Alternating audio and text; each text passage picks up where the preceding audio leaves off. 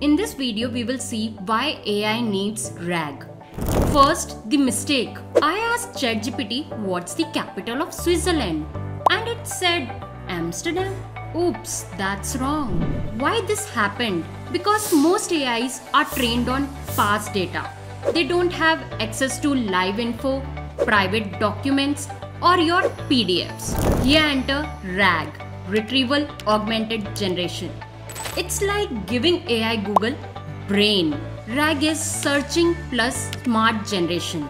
If we think of real life scenario, if I want to check what is in our company leave policy, RAG searches internal HR documents, find the right PDF and summarizes it in seconds. Here how it works.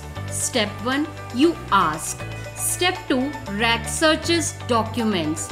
Step 3 LLM generates a smart answer. That's it. Now let's see how it was before versus after RAG. Before RAG, it used to answer, mm, I think. After RAG, based on document 12, here it's your answer. RAG is the reason AI is finally trustworthy. No more guesswork, just Google Smart Answers. Follow nETSETOS and level up your AI game.